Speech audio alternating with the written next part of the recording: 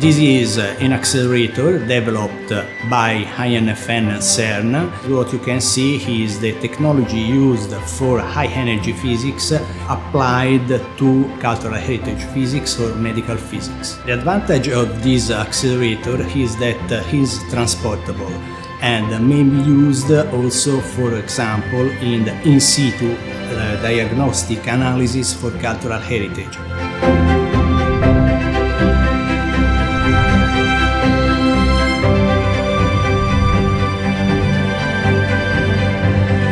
Have uh, worked with Ars Mensurae and INFN uh, in order to obtain an image of the uh, chemical elements that we can find in these paintings. Not just the uh, pigment compounds, information about the technical execution of the painting. We discovered that there is a, a spot near the eyes and that's moved the position of the visage.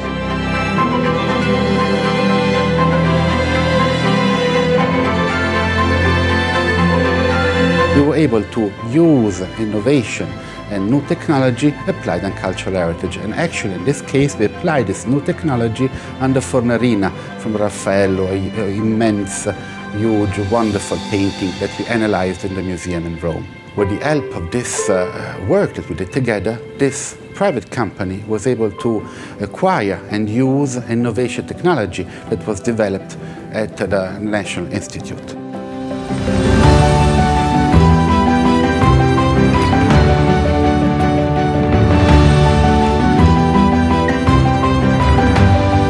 In the MUSA project, the technology and expertise in electronics developed by INFN were used to realize a new portable imaging instrument called multi-channel macro X-ray fluorescence scanner for high precision in situ measurements. Thanks to a brand new electronics and data acquisition system, it was possible to map the distribution of the chemical elements present in the world with extraordinary accuracy thus identifying the inorganic pigments used and understanding the process with which Raphael applied them. Now, this innovative tool is available to operators in the sector of cultural heritage.